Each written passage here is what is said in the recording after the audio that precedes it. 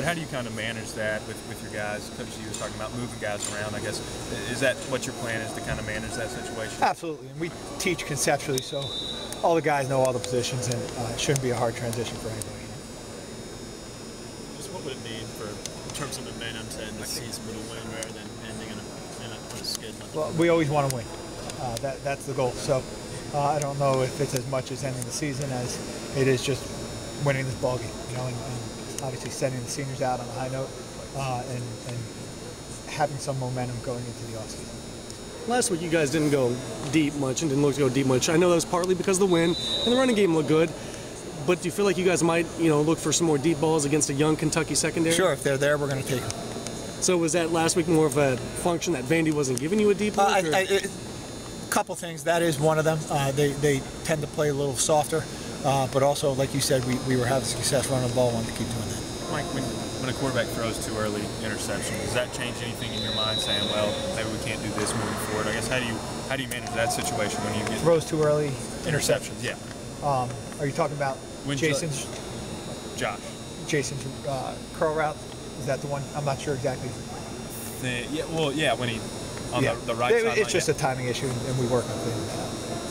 Marquez going out after that first series, does that affect play calling at all, or you, you still have the same game plan, nothing changes? Uh, sure. We, we always think players, not plays, and, and he being one of our playmakers, uh, that does affect play calling a bit, but you, you adjust and uh, you, you, know, you accentuate other guys. I guess have you continued working on that adjustment with him being out the past two days? Sure. You know, again, Jason Croom brings a lot to the table, Howard brings a lot to the table, uh, and obviously Josh Smith uh, continues to develop. So uh, there's options there. The offensive line is. You guys have to go to, to Stockstill as that second tight end. I think maybe did it the first series and not much else after that. Is, is that still something you like to do as a two tight end, or is, are you limited because of the personnel situation? No, I mean it's again trying to play to the strengths of our personnel and also trying to um, find the best matchups. And uh, it, it, was something that we just felt uh, wasn't wasn't uh, conducive to us uh, doing what we wanted to do. How has Josh responded this week? I mean, how, what, what do you see from him in practice? Pretty much the same guy, or has his any difference in his confidence? Josh is a competitor, and he, he, comes to work every day. So he, you know, we have a snap and clear mentality, and, and uh, we're putting that game behind us and moving on to the next one.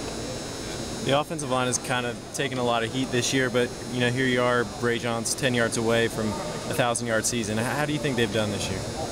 our offensive line is is uh, right now still the strength of our offense, and those guys, it's a veteran group, and uh, they've done a good job leading. And um, you know, I'm, I'm obviously grateful to the leadership they've provided. Uh, we, we want to go out and make sure that we win this game for them. Do you worry about a young quarterback trying to overcompensate? I mean, he threw for 50 yards last week. You worry about him trying to trying to do too much Saturday to kind of make up for struggling the past couple? Weeks? No, he, he's a level-headed guy, and he knows he's just got to manage the game and play within the game plan.